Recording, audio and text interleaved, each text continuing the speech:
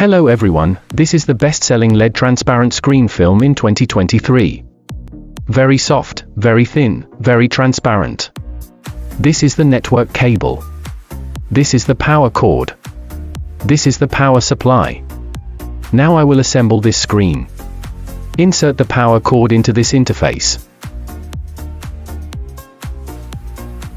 Insert this network cable into the network port.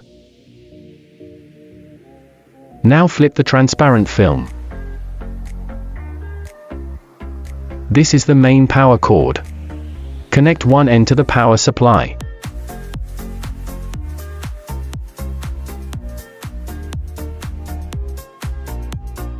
This network cable is connected to the controller.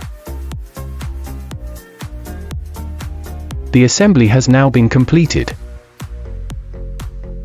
Now we turn on the power. The screen has now played the video.